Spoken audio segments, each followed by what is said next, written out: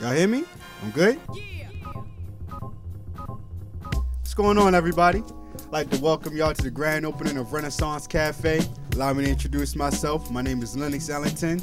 I'll be your host for this evening, and I'm also the co-owner of this establishment. And if you look over to my right, you'll see the other co-owner and my partner of ride, Mr. James Langston. Y'all showing some love, y'all. Not bad for opening night, right? Yeah, yeah, not bad, not bad.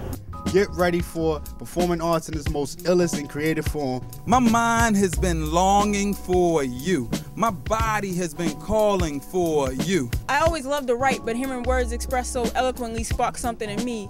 For the seed was planted that was floating in the air. But yo, tonight won't be complete unless you spit something. I wish you don't spit something tonight, James. Your poetry is whack anyway.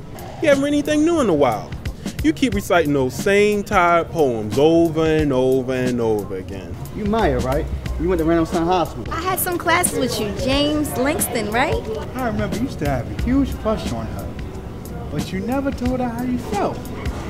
Now she's here, she wants to hear you spit your poetry. But tonight be the night, Mr. Langston. You think you can spit something before the show's over?